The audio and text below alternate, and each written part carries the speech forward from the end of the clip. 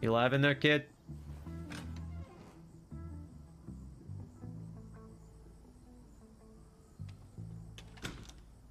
He's a streamer.